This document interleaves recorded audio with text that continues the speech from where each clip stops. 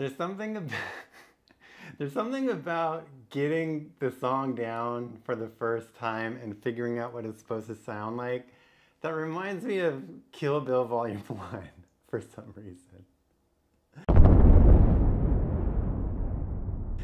Hey everybody, my name's Mark. Welcome back to 2000 Hours of Banjo.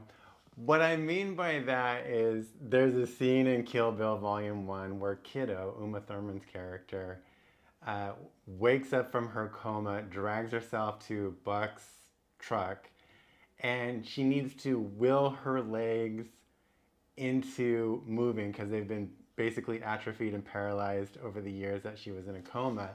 And she just repeats, move your big toe, move your big toe, move your big toe. And then finally, or wiggle your big toe, wiggle your big toe. And then finally it wiggles.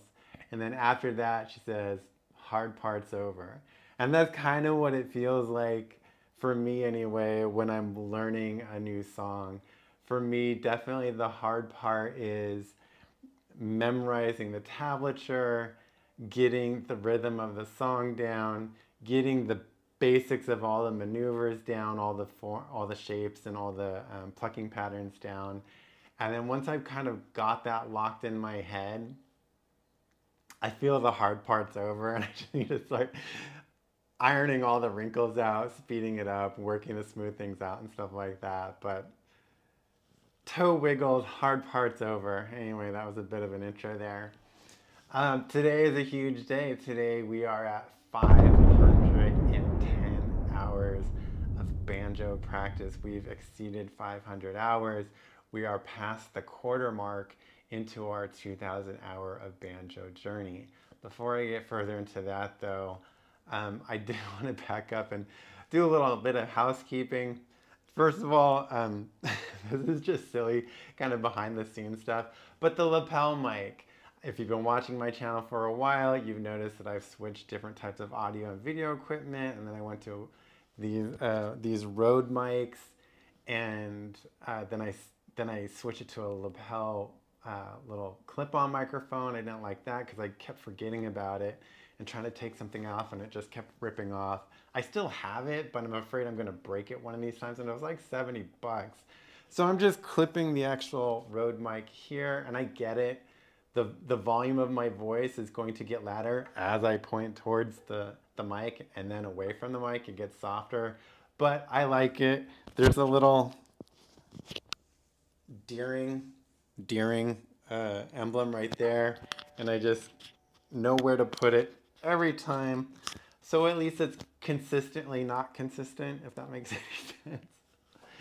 The other thing is I'm changing up my practice routine a little bit. Um, I've have you heard of everybody's heard of practice makes perfect um, but there's a few lesser folks out there that heard that mm, practice doesn't make perfect practice makes permanent and if you're doing something wrong and you practice it over and over again you're making that permanent perfect practice makes permanent is what I keep hearing. And I've noticed that my typical routine of warming up by going through all the songs, and then once I've gone through all the songs that I know, working on the newer stuff first, is really have been a recipe for repeating mistakes, for, for increasing the frequency of mistakes. So instead what I'm doing is I'm actually working more on the old stuff first front loading the practice with that, working on that material, working on the speed drills, and that seems to get my hands a lot more limber quicker so that when I do get to the new stuff, I'm making fewer mistakes. And if the idea is to make as few mistakes as possible so that we're wearing that groove in our brain nice and tight and there's no tangent mistakes going left and right, the better. And, and so that's the recipe right now is I'm front loading my practices with the old material, working on speed drills on the old material. That limbers up and warms up my hands. And then later on, I dive into the new material and I seem to have improved my accuracy when I work through that new material. And hopefully that will make that new material lock into my brain a lot quicker than it has been before. also, and even though I'm, I sit down mostly for these videos, I'm standing up for almost all of my practices now. And there's a couple of reasons for that. First is, man, I just did a video on lying, and here I am basically catching myself in another lie. Back around um, Thanksgiving of last year, my wife and I were putting up Christmas lights, but this year we decided to screw in the hooks into the eaves of the house rather than using the staple gun that I've been using for the past like 10 years. Anyway, so my arms were above my head screwing these hooks for hours because my wife decided to screw in a hook like every foot rather than like every two or three feet. So we hundreds of hooks around the perimeter of the house. And I woke up the next day and I could barely move my left arm. And my shoulder was extraordinarily painful and it felt pretty locked. And I said back then that it was bursitis. Kind of lied. Um, it, the diagnosis was actually frozen shoulder syndrome. Um, thankfully, a more mild case of it, because I do have a friend at work who has who who went through frozen shoulder, and he literally could could not move his arm. Thankfully, I could move my arm, but it was really painful.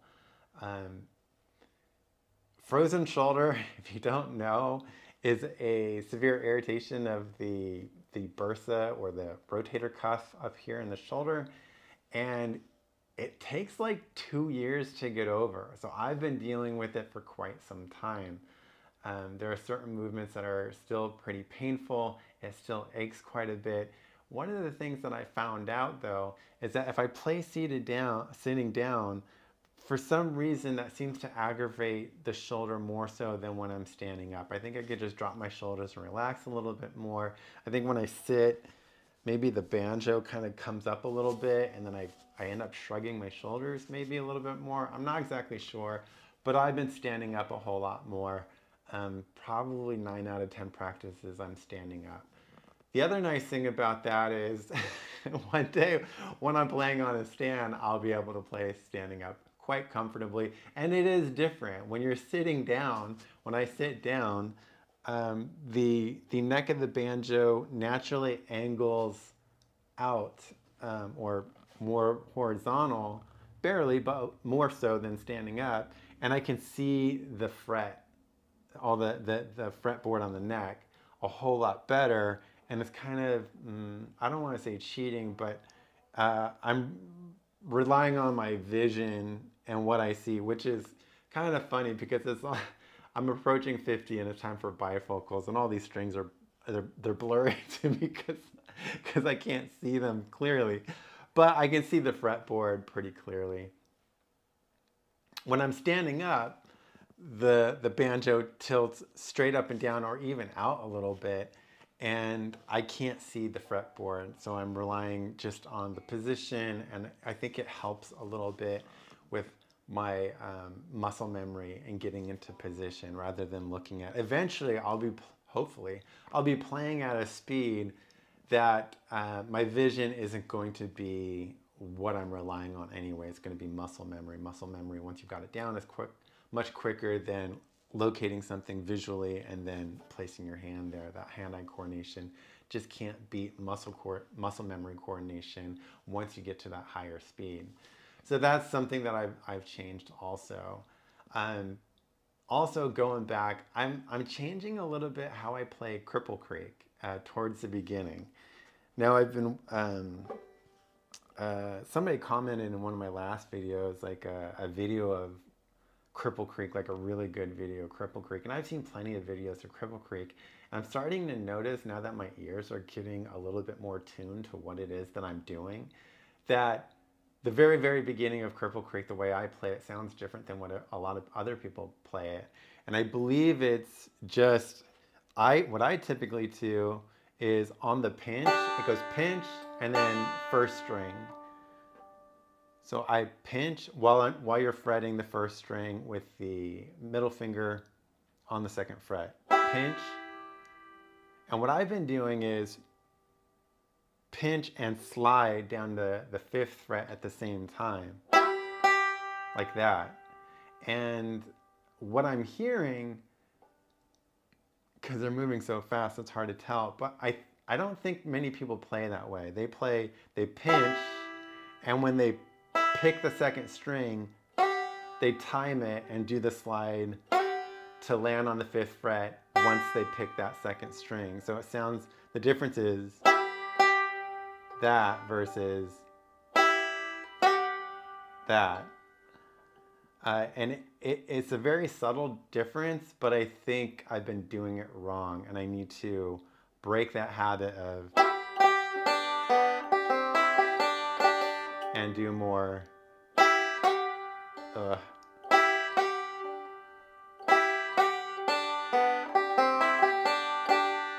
once I get up to speed, I'll do a better demo of it once I kind of got it uh, down better. But to me, just just that hesitation throws everything off. It's it's amazing that once you've been playing a song for so long, a subtle change really throws things off. This is the whole idea of uh, did I practice perfectly or did I just make that permanent and and did it wrong for so long?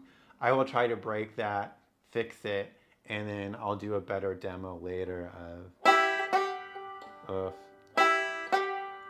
yeah, my slide and my, my picking timing is, is off.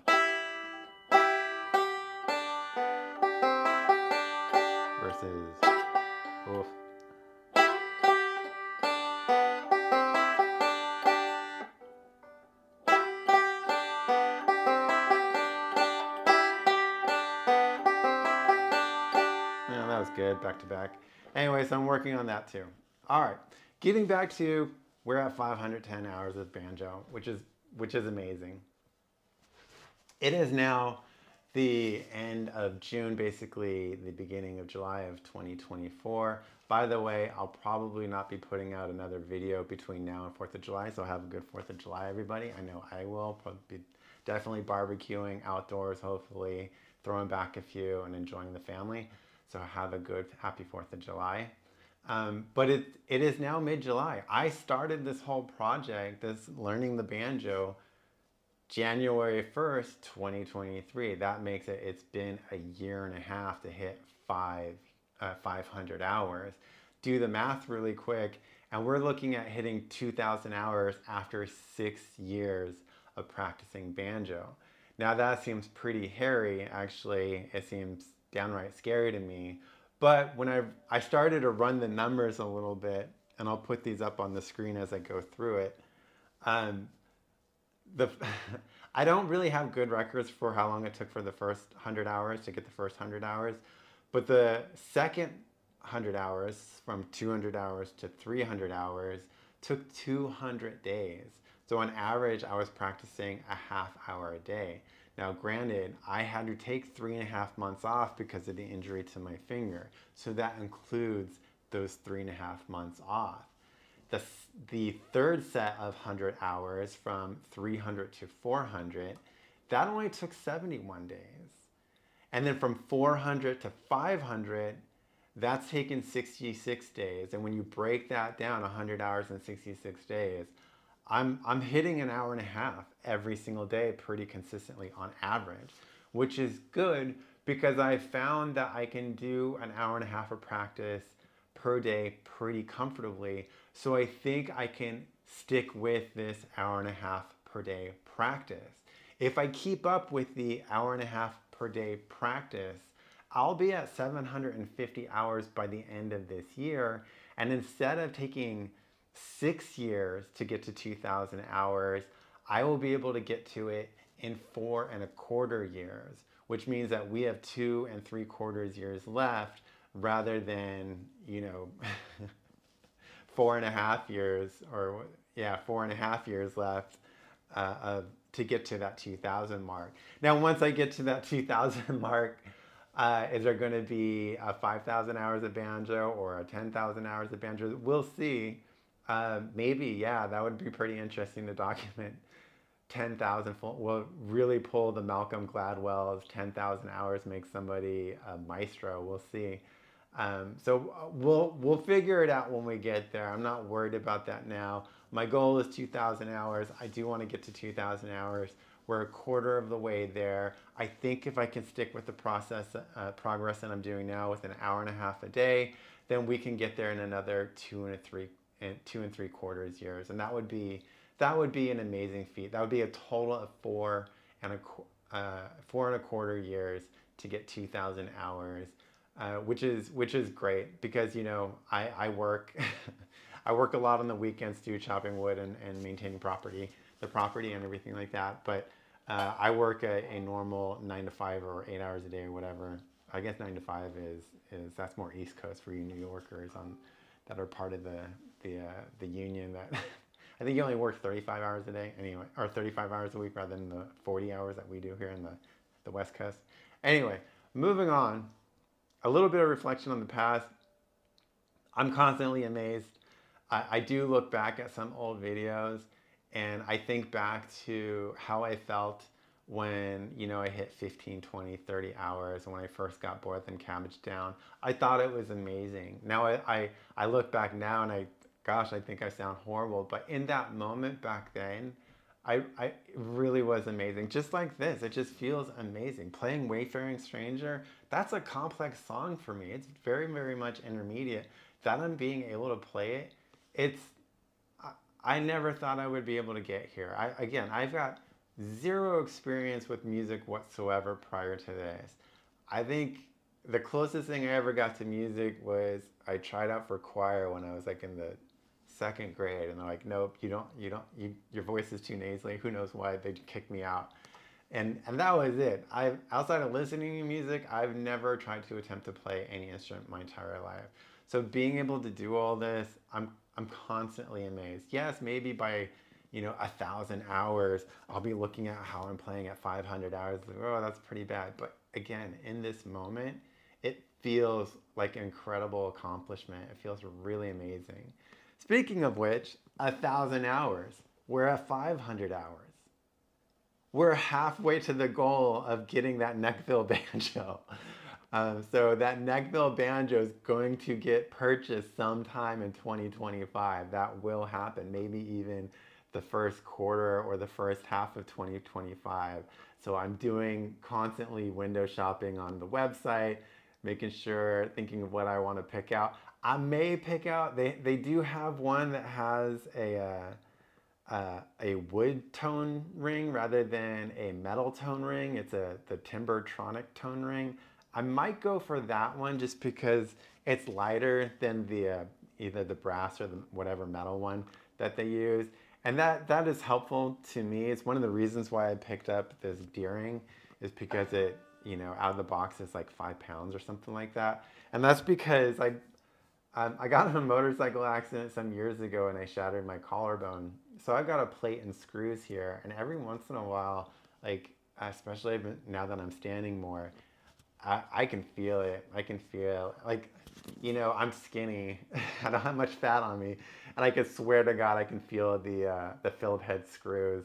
I can tell that they're Phillips head when I push through the skin. Funny side note, my wife also has a broken left collarbone. She also has a plate and screws. She got that from roller derby. One of her teammates did that for her. Me, it was a motorcycle. I beat her by one screw. I think I've got seven screws in my shoulder my collarbone, and she's got like six or so. So I'm I, I don't want to be a one-upper, but uh, I got seven screws, not just six. Lastly, um, five hundred dollars. That was how much this banjo cost me when I um, first got it, or actually what, what it cost my wife when she got it for me for Christmas back in at the end of 2022. $500, 500 hours.